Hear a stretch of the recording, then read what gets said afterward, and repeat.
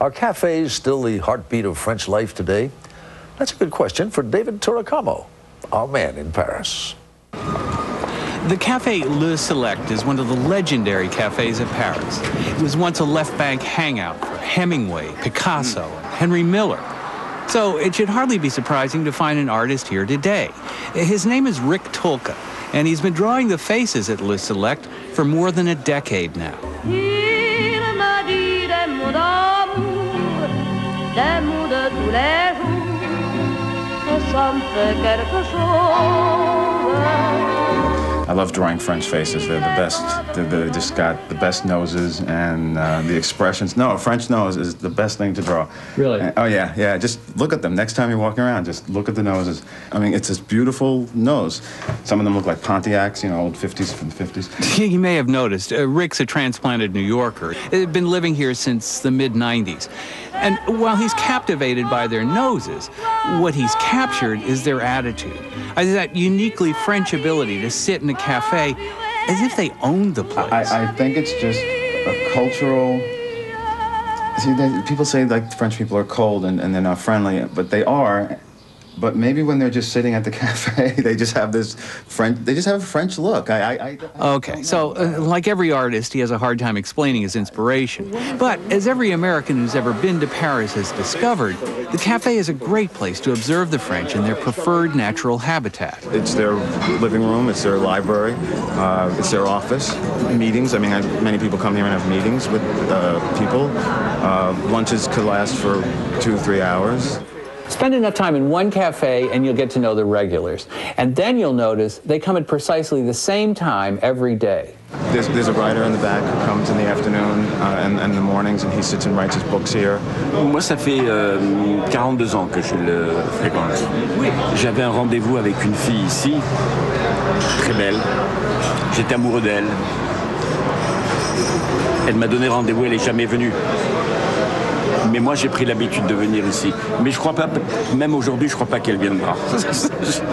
It's the same, it's the same parade every day, but it, it changes every day, and, and, and the seasons change it too. Um, the guy over there with the bald head reading, okay, he comes here.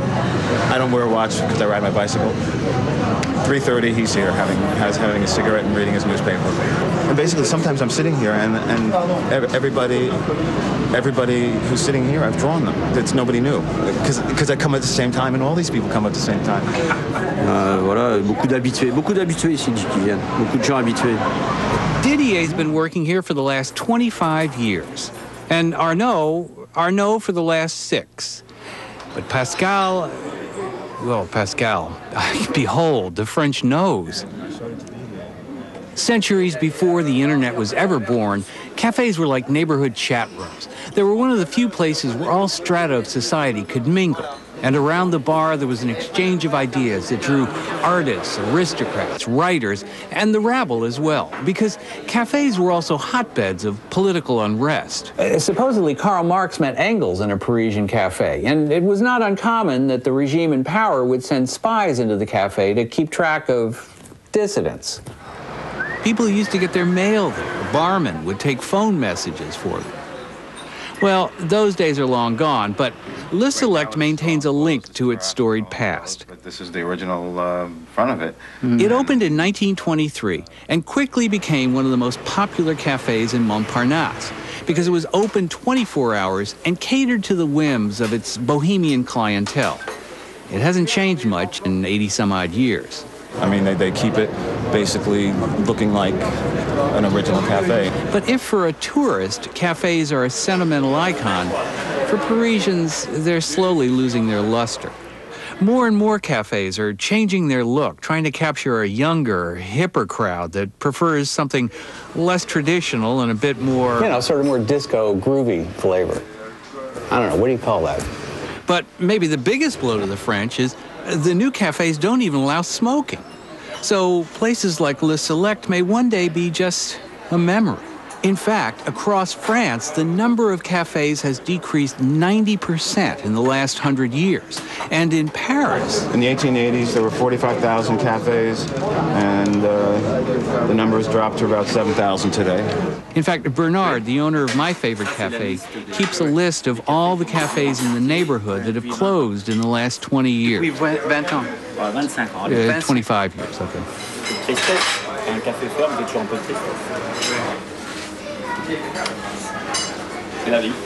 And what isn't closing or changing its look may be going corporate. Even one of Hemingway's haunts, like La Coupole. I mean, La Coupole is now owned by a big corporation, and it's just not anything like it used to be. I mean, that building is built in the 80s. It used to just be two floors. But as we know, the French can also be uh, stubborn, uh, like Monsieur Francis, who runs Le Select and wants only garder cette, euh, cette ambiance de, de bohème. Et voilà. Parce que autour de nous, ils ont tous changé. C'est ça, mais il faut quand même garder cette tradition et garder ce, ce contact-là. So, uh, with all the material he's accumulated, Rick and writer Noel Riley Fitch have put together a book due out this fall. But if you can't wait till then to see his work, Oh, here, this is mine. you could always pick up the latest issue of This one's mine. Yeah, uh, Rick may be best known so far as an artist for Mad Magazine. It, it's it's really a fan. I mean, I've been working there for almost 20 years, and uh, I have some really close friends there with some of the artists and some of the editors, and, and it's a family. I mean, of course, it's fun because it's mad, but uh, the people are, are, are just great. And it gives him enough time to document what may in fact be the passing of an era. Though one thing seems never to change, and maybe there's no answer, but I've always wondered why so many artists are drawn to this city. I mean, it is Paris. I mean, what more do you need? You know? and hopefully, as the man said, we'll always have it.